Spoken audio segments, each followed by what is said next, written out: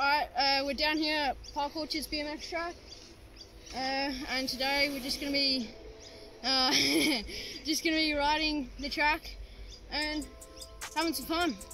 Alright, so just now I've been trying to get this second straight really good and it's really hard through these doubles because you gotta pump really hard to get the speed for this big triple at the end. Uh, but the wind won't make up its mind, so hopefully I get a good, the wind makes up its mind for a good, yeah, no, it's not up. Alright, uh, hopefully the wind is, hopefully it's a tailwind down the second straight so that I could send this ginormous triple.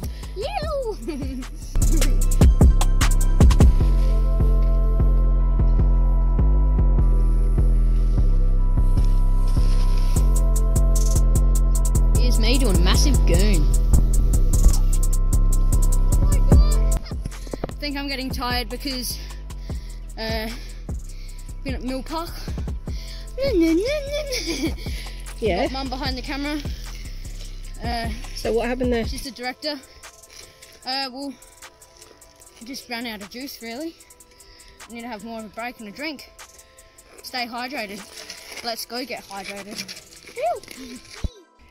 Uh, and now what I'm going to do is the pro straight. So it's bit bigger than all the other jumps and there's gaps in the middle that you don't really want to case because it hurts. And I've been trying to get it really low and fast, like the pros. Is pro straight. Let's do it.